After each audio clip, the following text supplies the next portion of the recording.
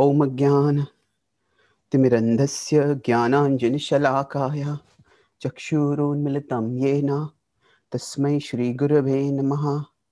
नमः ॐ विष्णुपादाय कृष्णपृष्ठाय भूतले।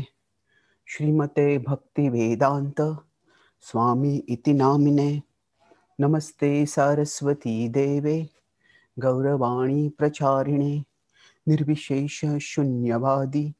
पाश्चात्यदेशतारिणे वाञ्छाकल्पतरुभ्यश्च कृपा सिन्धुभ्य एव च। पतितानां पावनेभ्यो वैष्णवेभ्यो नमो नमः। जय श्री कृष्ण चैतन्य प्रभु नित्यानंद श्री अद्वैत गदाधार श्रीवासादि भक्तवृंद हरे कृष्णा हरे कृष्णा, कृष्ण कृष्णा, हरे हरे। हरे राम हरे Ram. Rama Rama Hare Hare. Hare Krishna. So I'm grateful to be here with all of you today. So today we are going to discuss the Bhagavad Gita on the occasion of the Gita Jayanti. So I'll talk on the theme of repeated verses in the Bhagavad Gita. So some verses are repeated partially, sometimes two lines are repeated, sometimes one line are repeated. So we'll look at these verses, how the repetitions in the Gita emphasize its convey its message. That will be the theme I'll discuss. So we will see how many verses we can take today and tomorrow. And the relationship with the Bhagavatam is, of course, that uh, in the Bhagavatam, when Krishna has departed from the world and Arjuna is devastated, that is the time when he remembers the Bhagavad Gita and he gets solace. So we'll talk about how the Gita's message can provide solace to all of us also.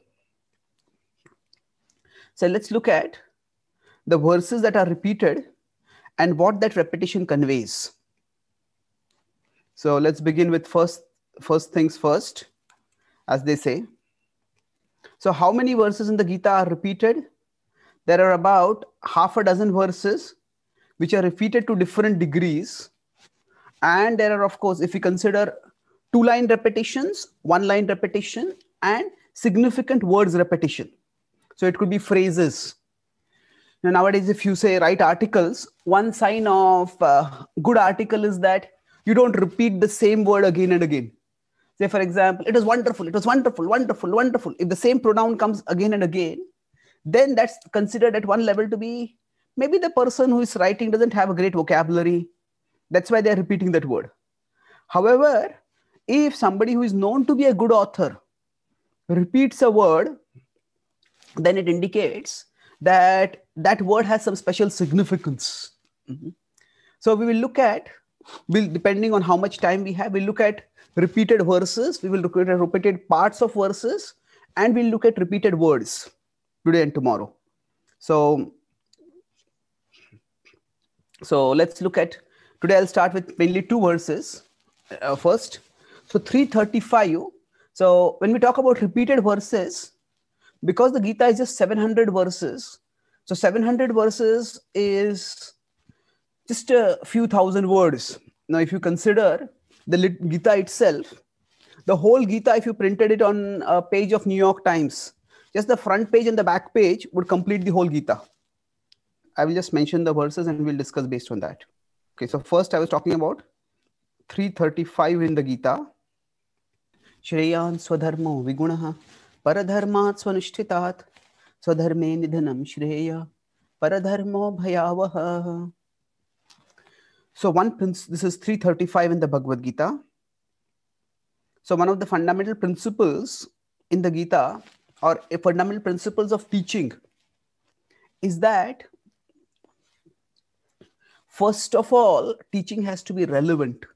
See learning can happen at different contexts. So somebody is going to a school or where the formal education you know they have they're obligated to learn over there because they're paying for it more or less. But unless people feel that this is relevant to me why does this matter to me? So unless that relevance is there the interest doesn't come and learning doesn't happen. That's why the important thing is to begin with relevance. And how does one begin with relevance? So this so the gita begins with Arjuna facing a serious problem. What is that problem? At one level, it is specific, and at one level, it is universal. And we'll talk about the two verses are repeated in the Bhagavad Gita and how they address Arjuna's question at a specific level and at a universal level. So, see, generally speaking, any any subject that we are discussing. Hmm, So, for example, somebody is say uh, staying in a particular country and they're thinking, should I relocate to another country or not? So, one is should the, the question can be addressed specifically at should you relocate or not? And the specific can be as the question can be addressed at a universal level. Okay, if somebody is immigrating, what are the what are the results of what are the factors to be considered in immigration? So the question, any question can be addressed at a specific level for the particular person. And it can be addressed at a universal level where broad principles apply. Now, if we consider, we may say specifics are more important than universals. Well, it depends if you're talking one to one, if we know that person specifically, then we can talk about specifics and that helps. But if we don't know that person, and then we are then best, better to speak in universal principles. So if, if it becomes specifics, then what happens? For that person, it is super relevant, but for others, it is not relevant at all. Mm-hmm. So if okay, you know, your parents are here and you you are like this and you have this kind of job and that job is not available over that kind of career is not available over there. So it all becomes very specific. So specific makes is specific increases relevance, but for a narrow audience, and universal increases relevance for a broader audience.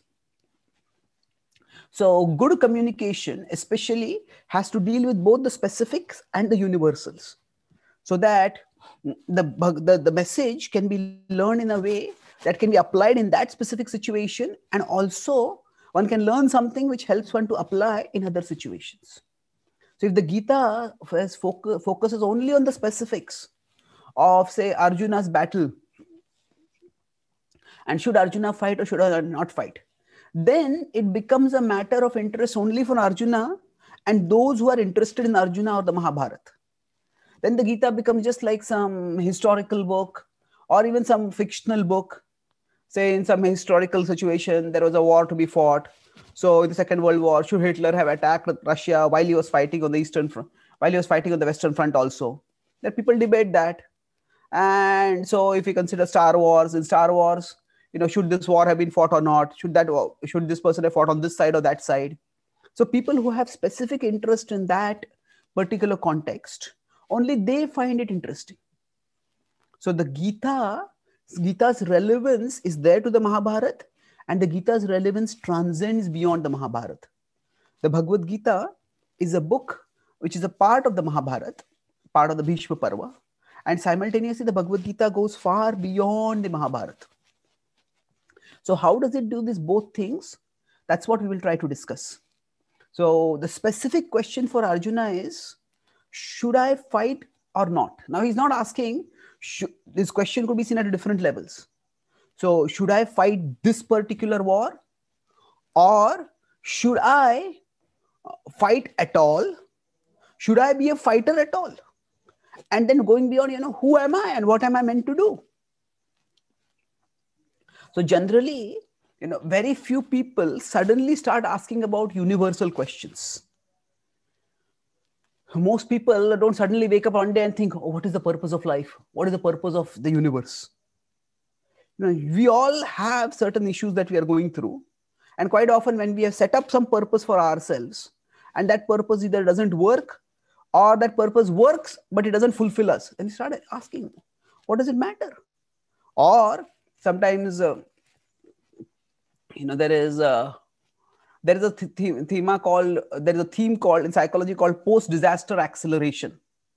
Post disaster acceleration means that after disaster any kind of disaster it might be a, a road accident it might be a close shave with a, a terrible disease or it might be a mass terror attack. So what happens at that time? After that people accelerate things. You know maybe i have to do these things so whatever it might be it might be uh, they might be dragging their feet in a relationship they might be dragging their feet about their spiritual life whatever they consider important but they're postponing they start postponing it so the point is that there things can be discussed at a specific level. So let's look at the specific level. So addressing Arjuna's concern at a specific level, there are two verses. And Arjuna addressing Arjuna's concern at a universal level, there are two verses in the Bhagavad Gita. So what is the specific concern of Arjuna? Should I fight or should I not fight? Now, basically, when he's asking that question, he's concerned about his relatives. Oh, there's Bhishma and Drona. Bhishma, Drona, Pramukta, Sarvesham cha Mahikshitam, Uvacha Partha Pashaitan. So he says Bhishma and Drona, and he says how, uh, they are the venerable elders. And seeing them triggers this question. And the question for Arjuna is, you know, what should I do? He starts thinking that should I be a Kshatriya at all? See, in the past, most people had well defined social roles. And if a person was in a particular social role, they would naturally take up the responsibility of that role. So that was the that was the sense of duty or responsibility which was implicit in society in the past. So because of that, now Arjuna thought if if I am a warrior, if I'm a Kshatriya, then I have to fight.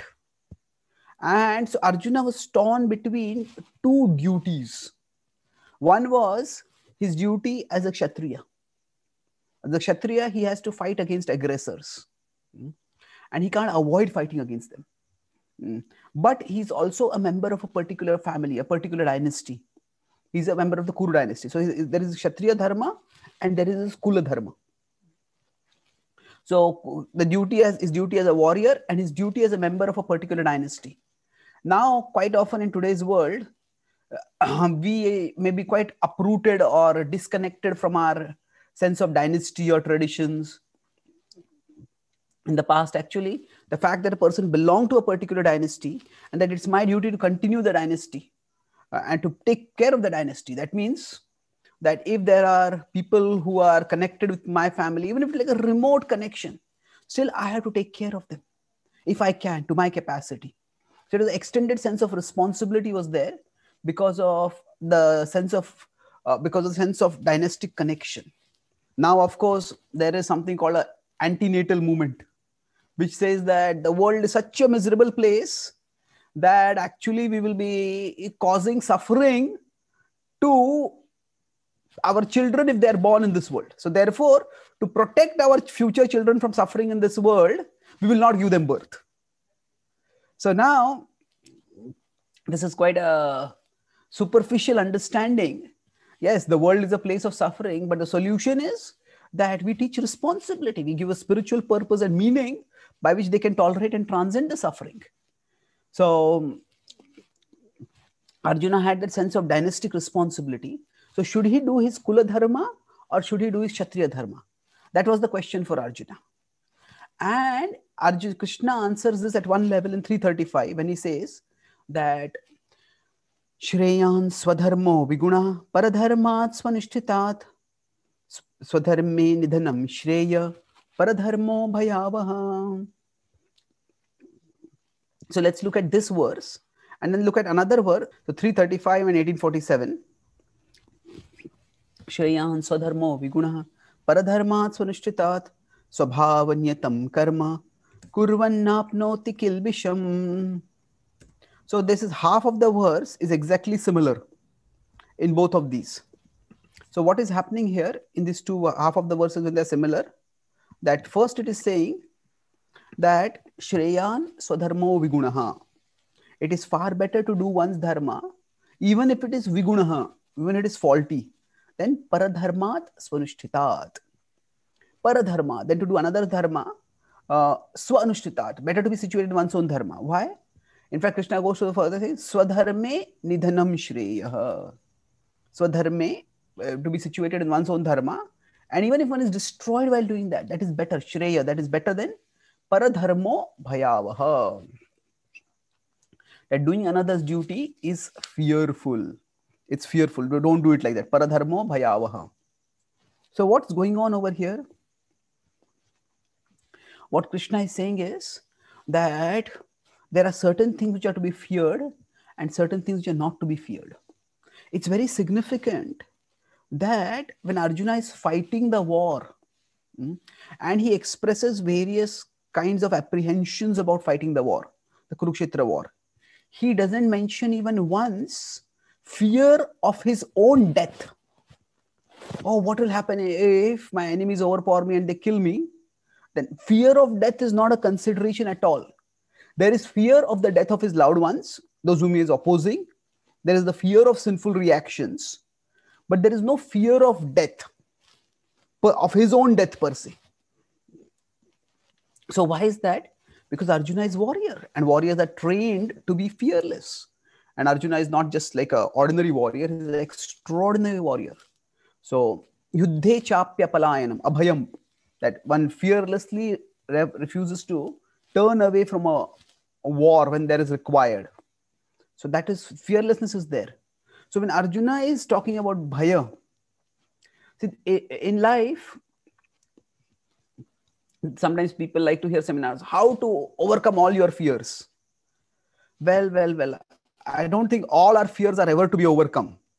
There are many fears which are overcome to be overcome, and there are some fears which are healthy, and those fears actually need to be uh, cultivated. So, for example, if a child is just uh, children might be fearful of the dark. Well, uh, child, child suddenly if the things go dark and a child starts screaming or starts crying, running. Well, it's not that everything dark is filled with some monsters. There's no as we grow older, say we, we outgrow the fear of the dark. So that is a fear to be outgrown. But if a child is rushing into the traffic in the middle of the road, so that one should not do that. So here it's ironical that we grow out of some fears and we grow into some fears. So in some contexts, fearlessness indicates growth. You know, children are afraid of the dark, but as we grow older, they're not that afraid of the dark. But children may not be afraid of going in the middle of a road, but adults are afraid of that. So, you know, we grow out of from some fears and we grow into some fears. And this is how we can differentiate between unhealthy fears and healthy fears. So Krishna is telling here, bhayavaha. This is fearsome. This is to be feared. So now, the, say for example, in the current pandemic, some people might have no fear. It's no big disease well we might think like that but then we hear about the death toll and we hear about the uh, the severe consequences then we say maybe i should fear this maybe there is to be feared now of course there can be paranoia there can be excessive fear and that has to be avoided. But the point is that we grow out of some fears and we grow into some fears. So arjuna is not having the fear of say death over here at all.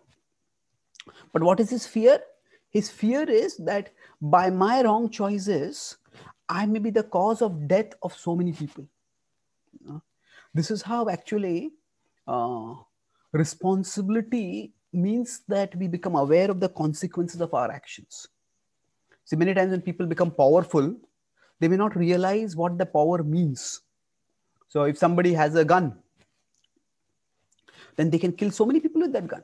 Somebody is the head of a state, especially if they have a state, a state with weapons of mass destruction, then they can cause the death of thousands and millions of people.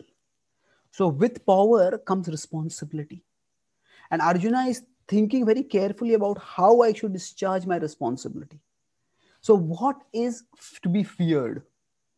So, he's thinking that if I fight this war, then so many people will be killed. And that is what is to be feared. So, going back to the earlier point, we could say education or growth is not so much about uh, eradication of fear as redefinition of fear. It is not that as we grow up, we, we become free from all fears.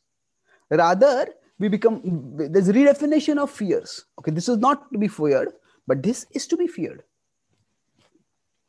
So, so what is the Gita? Gita is helping Arjuna to educate himself so that he knows what is to be feared. So he is thinking in terms of if I fight this war, people will be killed, and therefore I should not fight this war. But what Krishna is telling him is that what is fearsome, what is to be feared, is not so much the consequence of whether you fight this war or not, but rather whether you do your duty or not. So, why is that being talked about over here? That the, what is to be feared is whether you are doing your duty or not. That is important. Here, Krishna doesn't say specifically why it is important. स्वधर्मे निधनम श्रेय परधर्मो भयावह. That better to be destroyed while doing one's duty here the word dharma is use in the sense of duty the word dharma has many different meanings in different context in the Bhagavad Gita and normal context in which we use the word dharma dharma as innate nature that which makes a person who like dharma of water is air or the dharma of fire is to burn. That is a foundational meaning of the word dharma. But the Bhagavad Gita never uses the word dharma in that sense. The word Bhagavad Gita uses the word dharma either in the sense of duty or it uses the sense of order. When Krishna says, Dharma samsthapanarthaya sambhavami yuge yuge. I come to establish dharma. So now, if dharma is our innate nature, why is that to be established? What Krishna is talking over here is that dharma refers to the social order that will enable, uh, enable people to function in a way by which they can realize their innate nature. So that sense of innate nature is there, but that is not the primary meaning. So similarly, dharma, dharma can refer to social order. Dharma can also refer to individual duty.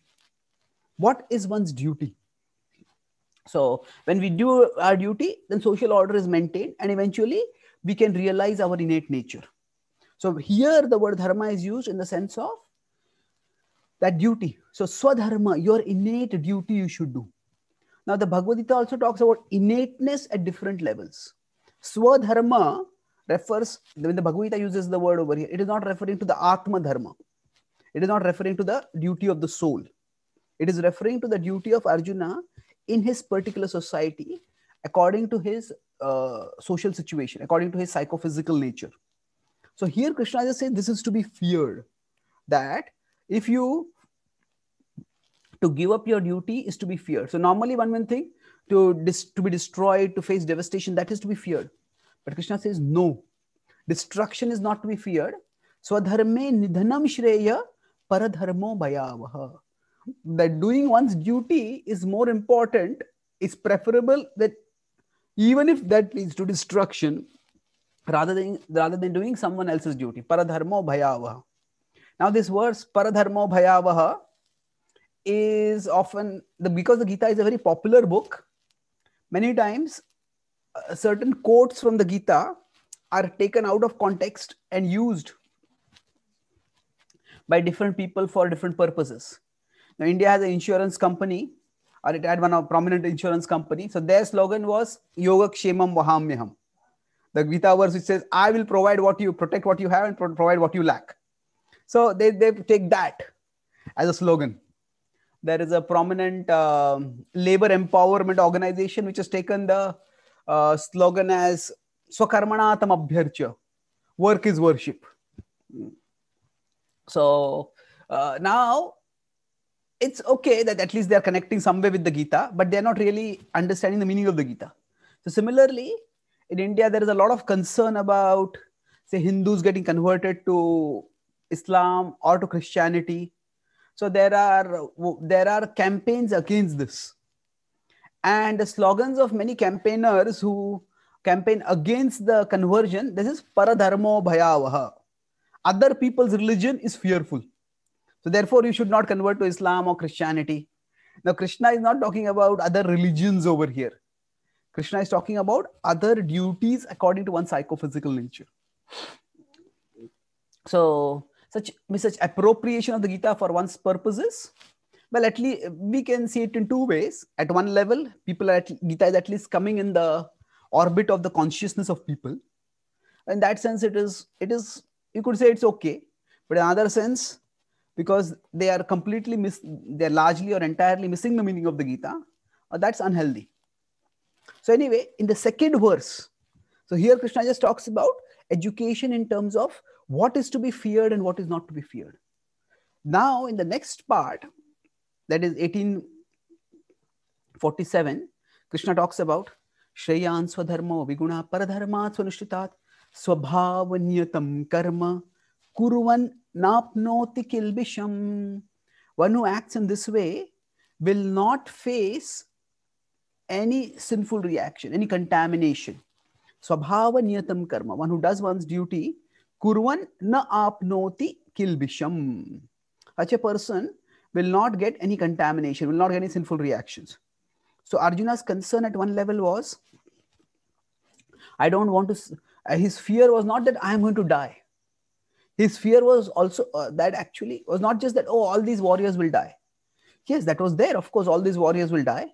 But if I choose wrongly and I cause the death of all those warriors, I will have to bear the sinful reactions. So in life, mm, so, sometimes we say, okay, there, is, there are choices for us. There's a good choice and a bad choice. But sometimes the only choice in life is between a bad choice and a worse choice. So life sometimes is just so terrible. So say, for example, we might want to distribute everything fairly. So suppose there is a ship which is sinking and there are there are 500 people in that ship. And that ship has only uh, boats which can carry about 50 people from there. So now what do we do at that time? What do we do at that time? Uh, it, we could say that eh, nobody should be treated unfairly. So nobody should be treated unfairly then what do you do? If everybody is to be treated equally everybody cannot get into the boat because the boat can fit only 50 people so the only way to have equality would be to let everybody drown and let nobody board the boat. I said, that's stupid. You know, equality is an important virtue, but survival, sometimes uh, survival is an even more, even more important virtue. So yes, it would be best if all 500 could survive. But if all 500 can't survive, then let at least some people survive. So this actually happened. Uh, this was a famous court case in the British Empire that this is almost in the 17th, 18th century, that there were three people who were left on a, were stranded on a boat after their ship had sunk. And um, this seems quite ghastly, but eventually they decided that there's no way we can survive. They were starving, they, and then they decided to cannibalize one of the persons anyway, the one person was the weakest, he was going to die. And then they said, so we will kill you and we'll eat you. And that way we'll survive. So now eventually they found a, a ship rescued them and they, were, they survived. So then the question came up that did they commit murder or not? So the British court eventually found that uh, they decided they had committed murder. So why? Because they had, uh, now the question comes up if they had made like a toss and they'd taken a toss and decided you know that among the three of us whoever loses the toss that person will fall first. That person will be cannibalized first. That's terrible. But at least there is some basis for the decision making. If two stronger people just pounce on the third person and kill that's that's very bad. But now there is a concept of sacrifice in life. So now, now i'm not going to get into the ethics of that particular decision but I'm saying that this is not just hypotheticals. This kind of situations come in real life also. So what Krishna is telling Arjuna is that as long as you do your duty, hmm, then the consequences, uh, if you are doing your duty responsibly, then it is, you won't be contaminated by the consequences of your actions. Now, this doesn't necessarily mean that one shouldn't at all be concerned about, concerned about the consequences. What it means is that one should not give up the duty just because it is uncomfortable. So, should we not consider the consequences? Of course, we have to consider the consequences. When the Bhagavad Gita says, Ma phaleshu kadachana, don't be attached to the fruits, that doesn't mean lack of concern for the consequences. That only means that the consequences should not be the sole consideration for deciding what we should do. Because when you talk about consequences, also, you know, what each of us may prioritize a particular set of consequences. Mm. So we may say this consequences are undesirable or these consequences are undesirable. So which consequences are undesirable? Now, some people say that the planet is in a big crisis right now. Okay, so what should be done? Actually, humanity is the problem. Humanity has caused the planet to be in crisis. So let's eliminate all humanity. Well, do we really want to commit mass genocide and kill all human beings? Well, that would be horrendous. So we may consider, somebody may consider the devastation that we are doing to the planet. That's a bad consequence. But if we choose this and destroy all of humanity, that's also a bad consequence. Or that's also a horrible consequence, in fact. So what Krishna tells Arjuna is that you look at the consequence not just in terms of if you fight this war and these particular warriors are killed.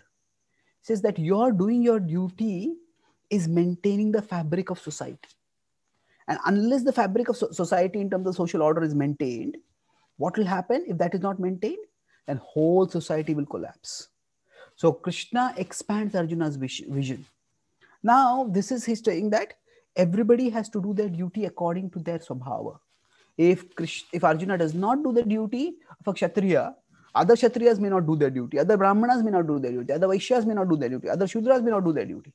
And if everybody abandons their duty, then society will collapse much worse than if a particular war is fought and it turns out to be disastrous. So Krishna expands Arjuna's perspective. So this is one level of the Gita's uh, comparison.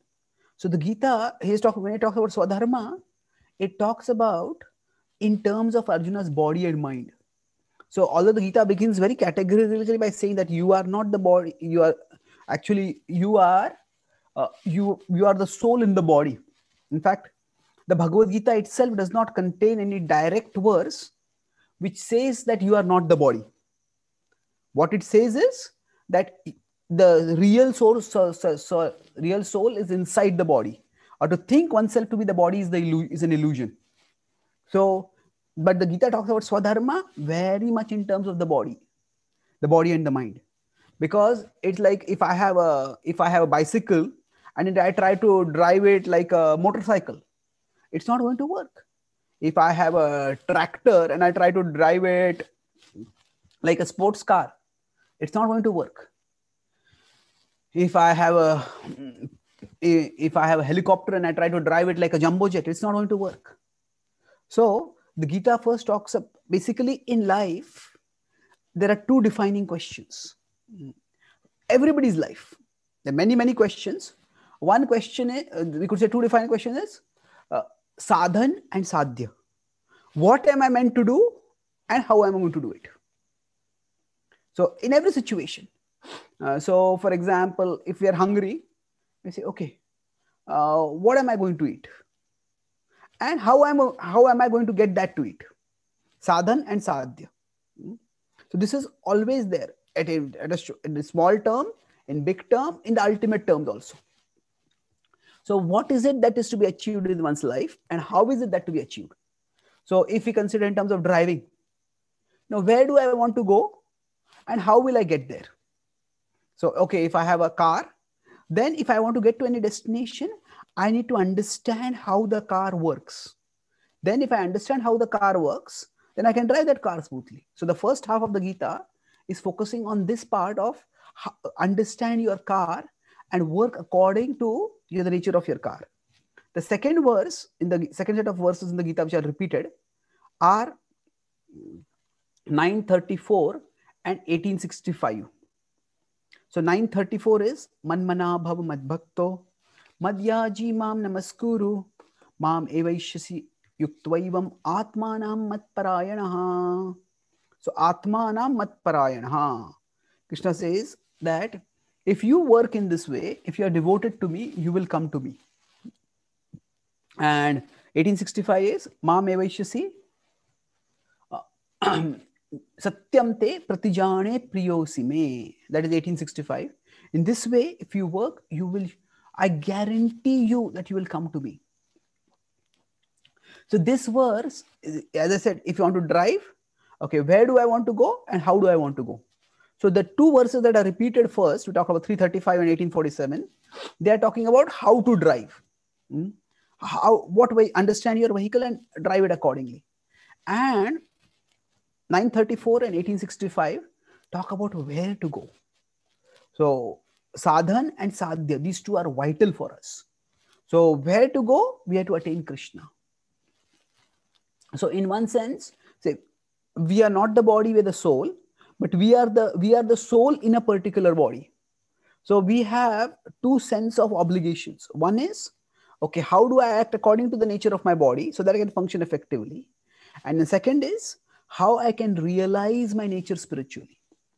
So how uh, so sometimes we talk about potential. Spiritual life, sometimes we say it is in spiritual life, you do not become somebody, you just realize who you are. So yes, but then sometimes you also talk about, you know, you can become a better person, you can become a better human being.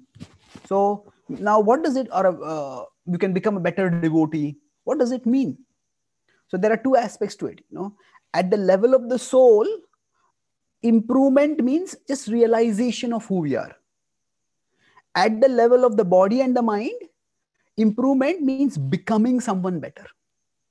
So, so we could say there is self-realization and there is uh, self-improvement.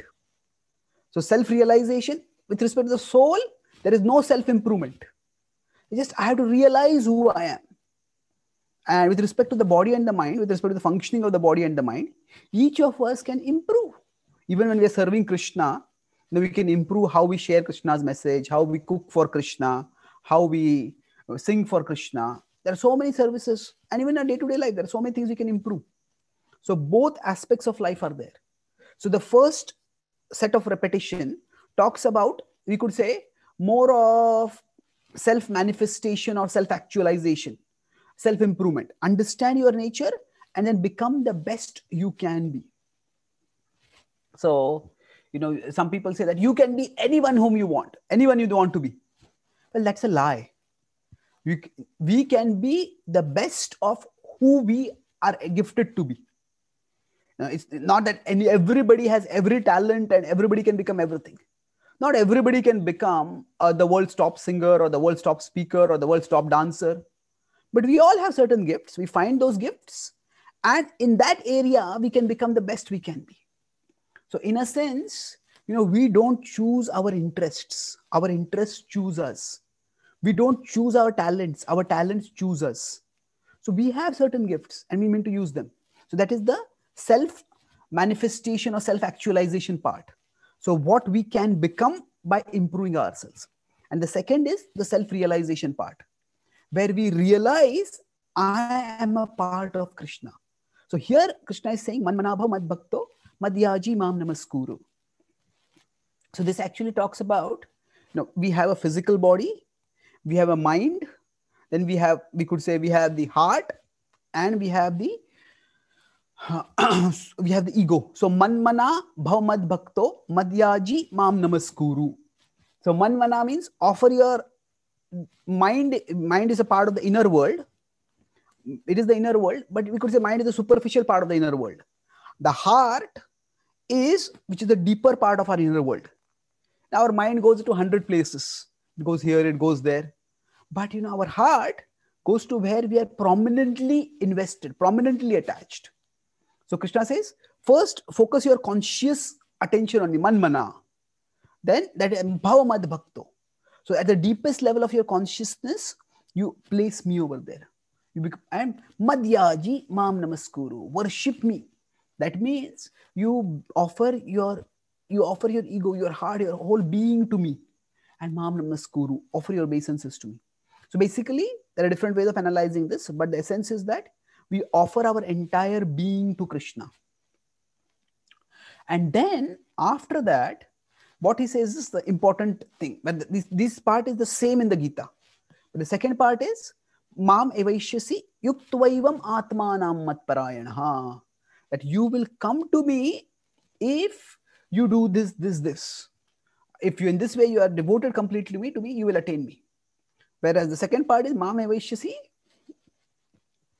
pratijane priyosi me if you do this, I promise you, you will do this. You will get this. You will attain this. So it's like if you consider a parent and a child, the child is not ready to do something which is important for the for the parents, important for child also, the child doesn't understand it. Now, if you do your homework, then I will, if, if you get this kind of grades in your, if you get this grade in your class, then I'll get you this toy or I'll give you this thing, whatever it is. So now when the parent is telling something like this, if you do this, this, then you can get this. That's one way of telling it. That's simply like a information. It's information about a deal. If you do this, then you can get this. But if that same parent says, if you can just do this, I promise you, I will give that to you. So, what that means is the parent is much, much more eager had the child do that particular thing. So, one is more like a dispassionate description of a reciprocation, the other is more like a impassioned call for reciprocation. Let's do this. So, 934 is more like a dispassionate information. Now, if you do this, you will come to me. There's a promise over there of reciprocation. But in the second half also, so in the first half, there is a description of what is to be done. But in the second half, what happens is Krishna says, Ma me vaishyasi, that is his promise. But after that, again, it's the emphasis on what he has to do, what Arjuna has to do. Ma me vaishyasi yuktuvaivam atmanam matparayana. In this way, if your whole being is offered to me, is engaged in connection with me, then you will come to me. So the emphasis is on what Arjuna has to do. But Mahame Vaishyasi Satyam Te Pratijane Priyosi Me. Mahame Vaishyasi.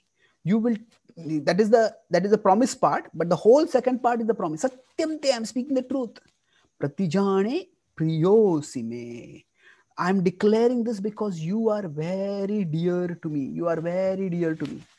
So that is the point over there. Pratijane Priyosi Me. So if you understand the context of the Gita, then we will understand that actually here Krishna's heart is coming out, Krishna's love is coming out, and Krishna is eager. Krishna talks at various levels. Yes, we all have to act according to our nature, and it's important that we, we maintain social order. Yes, that's true, but ultimately, Krishna wants us all to come to Him. And that is where his heart's longing is.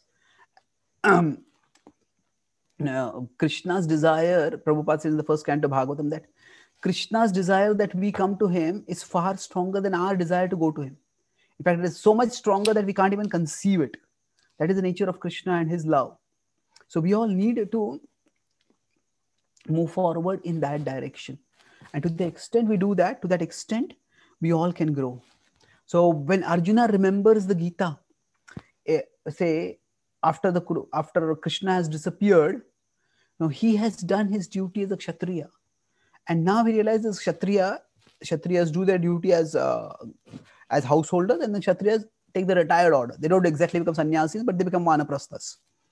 So he realizes the mission that Krishna has given for me now is over in the Raja Dharma, in administering the duty. And therefore, now let me turn toward the Lord. Let me become exclusively devoted to the Lord. So, both these verses, doing our swadharma and doing our bhakti, both work in harmony and both are emphasized in the Bhagavad Gita. So, we don't, if we focus only on our body and we forget the soul, and this is what harmonizes with my body, and that's what I want to do, but then we will get alienated by that. If we focus only on the soul, then we'll get alienated even by that. So we need to balance both. So we could say we we don't uh, pamper the body, but we don't even uh, we we don't even hurt, we don't uh, uh, torment the body. We harmonize with the body so that we can realize the soul, and that is the essential message of the Gita. So the Gita specifically it is Arjuna to fight his fight the war not because of worrying about the consequence that will happen, specific, specific set of consequences, but because that's his nature and he should do it. And if he's doing is acting according to his nature in a mood of service to the Lord, then the Lord will bring about auspiciousness. The Lord will ensure victory. The Lord will ensure that uh, everything auspicious will result from it. So similarly for us, so we understand our when to I say discover yourself. Now discovery can refer to realization, Discovery can also refer to manifestation. So we manifest who we can be at the level of the body and the mind. We all can become better in every way, at, in many ways, at the level of a body and mind. And we can realize who are, we are at the level of the soul. And the Bhagavad Gita is talking about both these dimensions. And in this way, is its universal message.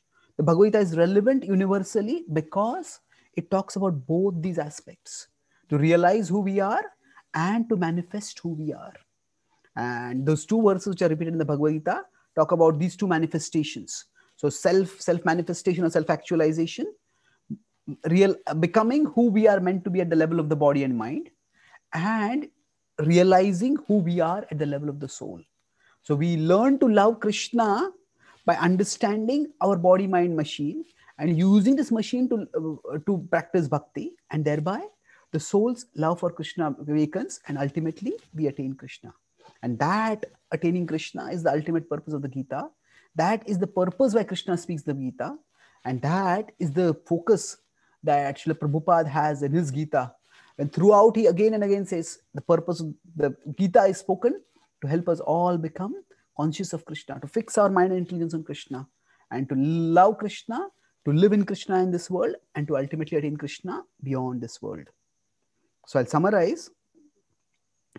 I spoke today about the Gita in three terms, uh, or in rather two terms the specific and the universal message of the Gita.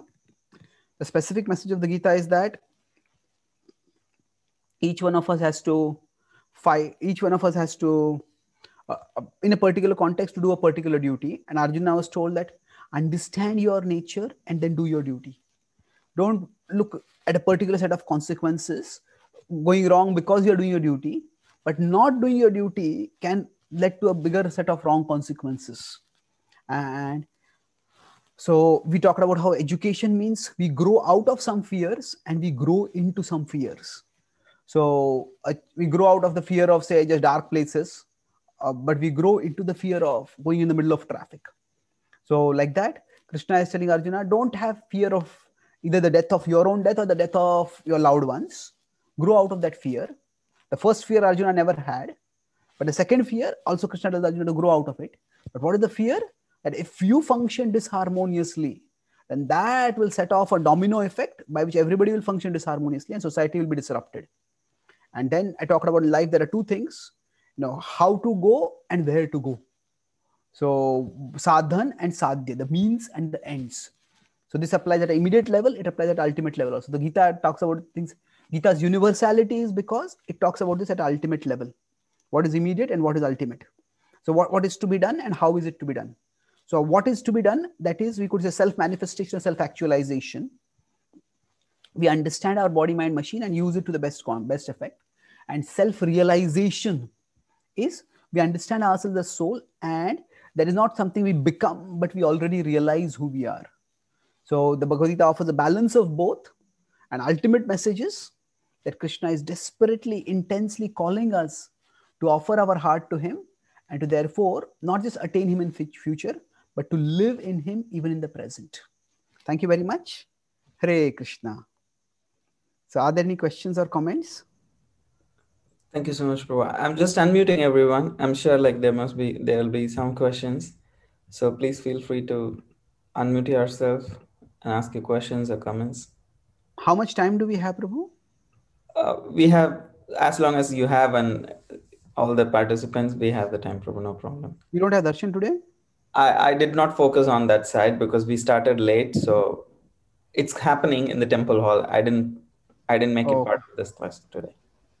Hare Krishna, Chaitanya Charan Prabhu, thanks for the wonderful class. Um, if Krishna's message in the Gita is ultimate, why why do we have to uh, balance it with other messages that are less ultimate or relative? Like, what do you mean, say? Oh, can you Surrender to me, do your dharma. Uh, ultimate dharma is to serve Krishna.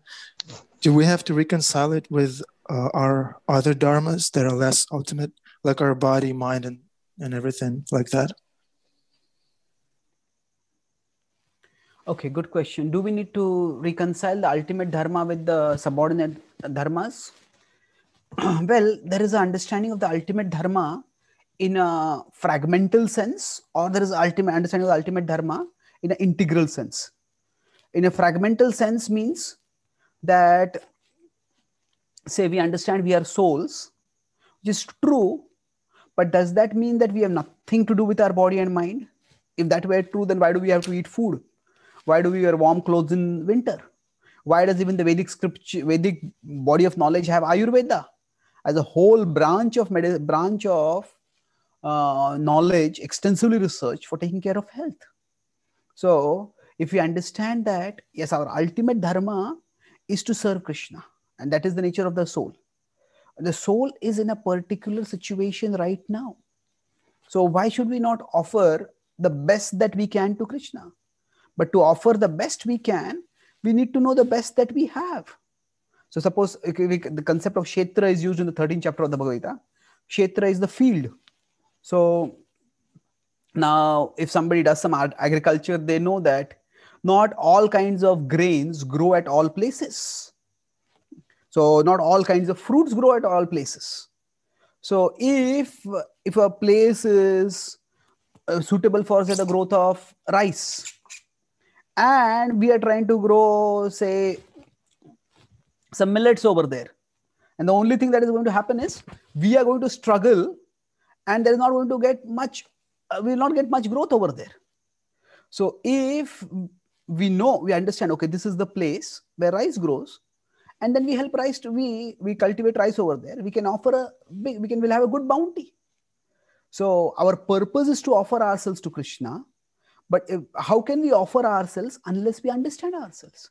So understanding ourselves doesn't mean only understanding our soul. And also understanding means our body and mind. Because to the extent we understand our body and mind to that extent we can offer the best to krishna.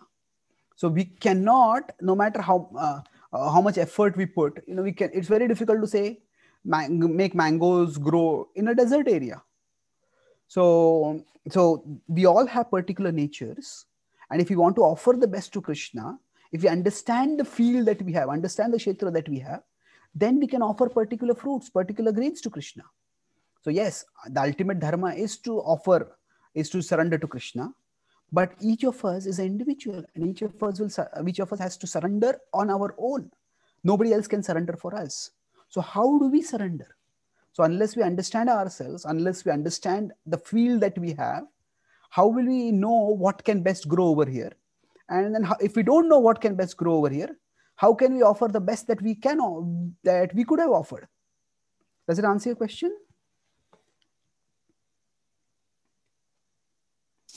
Yes, Prabhu. Thank you very much. That makes perfect sense. Thank you.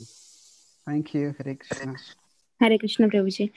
Um, for that three um, cannibals thing, I mean, you said right. So the British government, like uh, the judgment, like what verdict it gave, and then what was the what should be the what like verdict? Okay, yeah. See, that is a big question about ethics.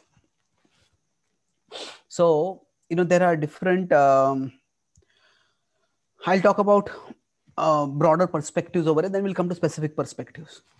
See, there is one perspective survival of the fittest. Mm? And we could say that is the law of the jungle. Mm? The strong prey on the weak. Mm? Now, we could say human society has another perspective that is, we could say sacrifice of the fittest. So, when the Twin Towers were collapsing, then many firefighters ran into the Twin Towers so that they could rescue people from there now we could reasonably argue that the, the firefighters were in far fitter condition than the people who were probably trapped inside the twin towers. And while going in, they said they they succumbed. So some of them succumbed when they went in over there. So now what is did they do a right thing or did they do wrong thing? So well, both principles are valid: survival of the fittest and sacrifice of the fittest. So we now at one extreme you could say the human tendency is to sacrifice by the fittest and the animal tendency is to survival of the fittest well yes and no. Yes and no means that in general uh, we humans if you are to express our humanity it is to be by sacrifice we should be ready to sacrifice. In fact all of human society is organized based on the principle of sacrifice. And that's what we call as cultured society. You know if say a person who can't see is trying to cross the road now, if other people assist that person, then now here there's not much of a sacrifice. It's just you sacrifice a few minutes of your time to help the other person get to safety. And if nobody does that, then you would say, what kind of uncultured society is this? Somebody refuses to do that. So we could say in the normal conduct of human society, sacrifice is vital. Hmm? And the whole Gita is centered on the mood of sacrifice. Yajna. Yajna itself means sacrifice. So Krishna also talks about how uh, for a higher cause, a lower cause has to be sacrificed.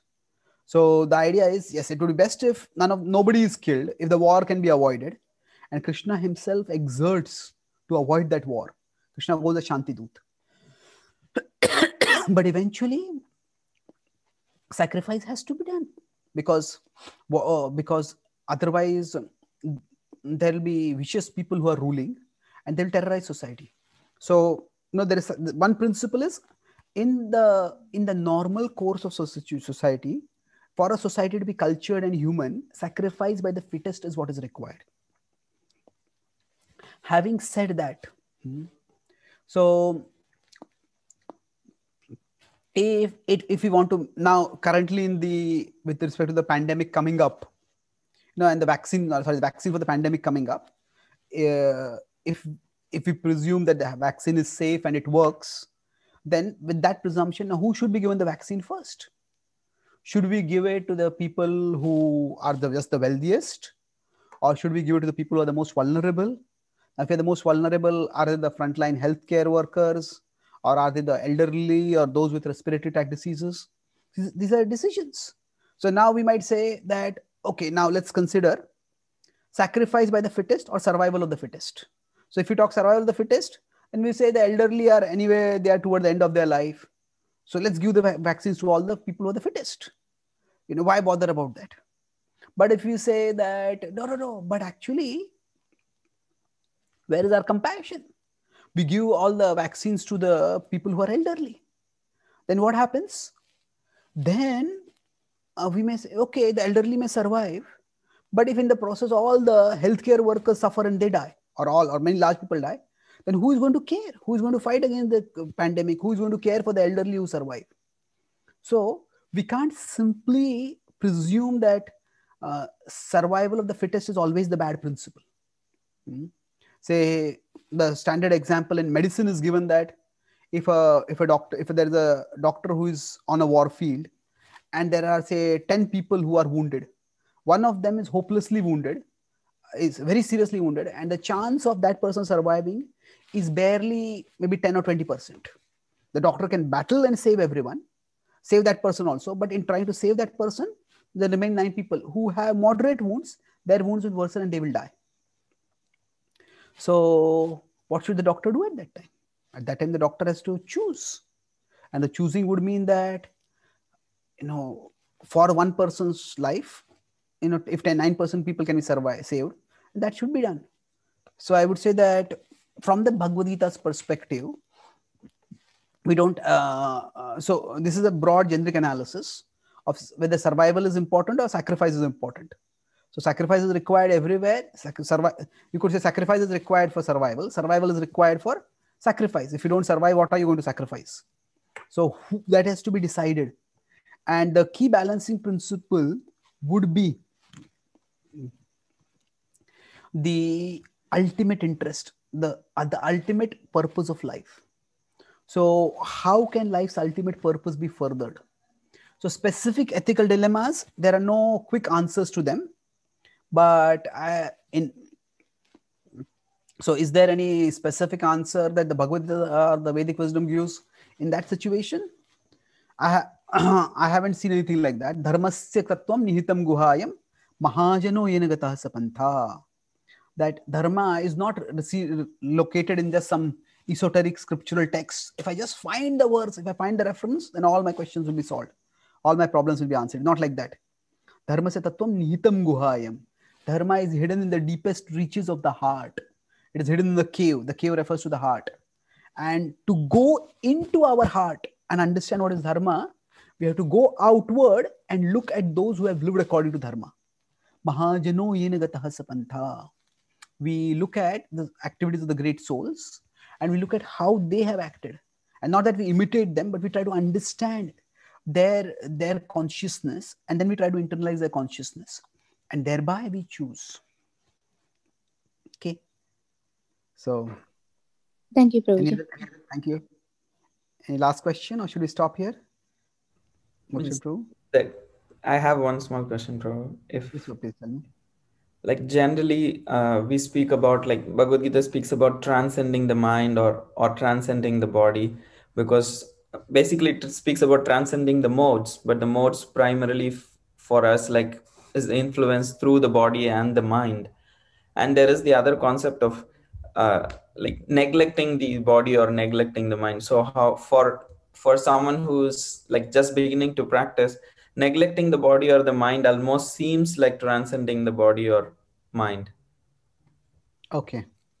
How do we good, very good question the difference actually?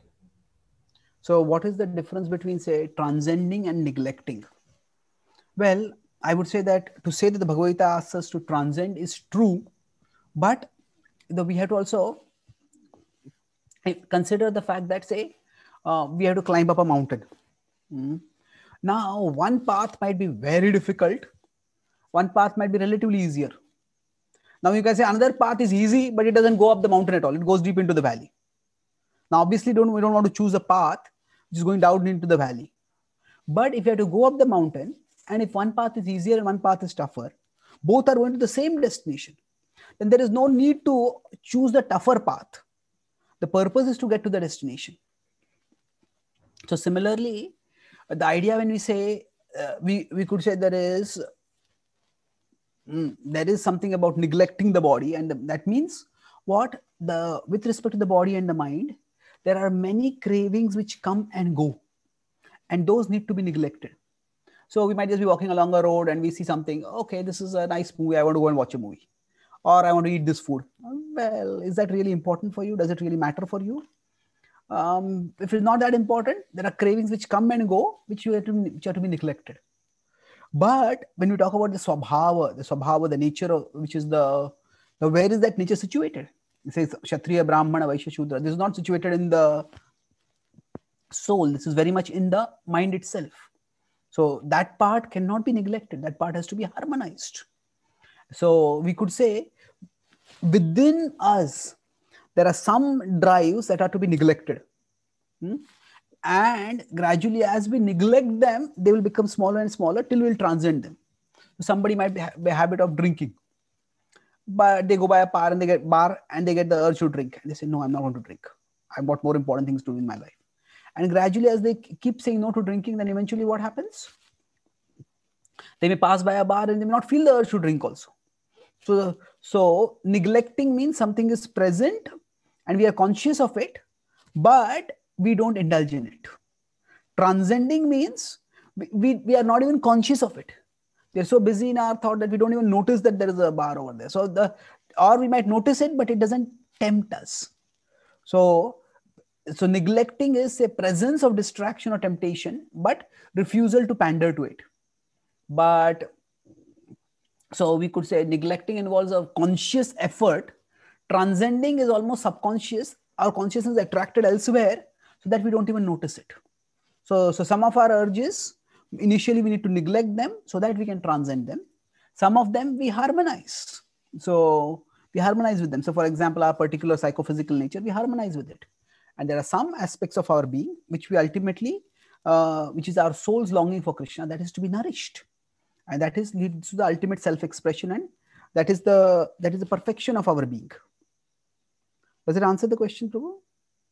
yes bro i i appreciate how you brought the aspect of like it, there are certain things that needs to be neglected but it can help us transcend eventually like the lower tendencies by neglecting them gradually one can come to the stage of transcending them not being disturbed by them at the same time i just a small follow up. as long as you have time like yeah sure uh, the follow-up is like we don't neglect the swadhar means the like nature of kshatriya and all those things that you're saying like kshatriya or vaishya these kind of tendencies that we don't neglect uh, when you say that in current society when we don't have defined roles or abilities or clarity so how much it is helpful that bhagavad gita is speaking about these things like because you said there is a specific message in Bhagavad Gita, there is a universal message.